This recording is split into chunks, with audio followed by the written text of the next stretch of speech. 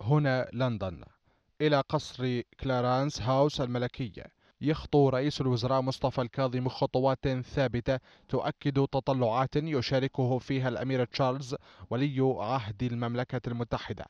آفاق التعاون بين بغداد ولندن هو المفتاح الذي يضعه الكاظمي اليوم في قفل الأزمات الاقتصادية ليحاول إيجاد الحلول الناجعة.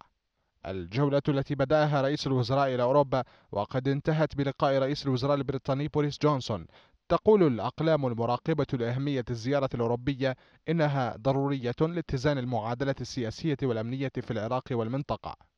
الكاظمي يعرض الموضوعات الأكثر أهمية للشارع العراقي والتي من شأنها أن تقف عائقا أمام مستقبل البلاد الذي يعاني قرابة 17 عاما من ويلات التراكمات السياسية والأمنية والاقتصادية. وهو ما يجعل الزيارة بمثابة مفتاح ثان بعد المفتاح الأمريكي وتحقيق فاعل على الأرض والذي يغير الطبخة السياسية والاقتصادية ويعيد اتزان السيادة العراقية على الأرض. وتقرأ الزيارة بمعيار أكثر دقة عند بعض الأوساط الاقتصادية حيث يرون أن المهم والعاجل فيها. يأتي على طبق من ذهب لتحسين الاستثمار وتقوية نقاطه العملية في وقت يلجأ فيه العراق للاقتراض الداخلي والخارجي معا لسد العجز في دفع رواتب القطاعين العام والخاص وإيجاد فرص عمل للشباب في ظل الظروف الراهنة.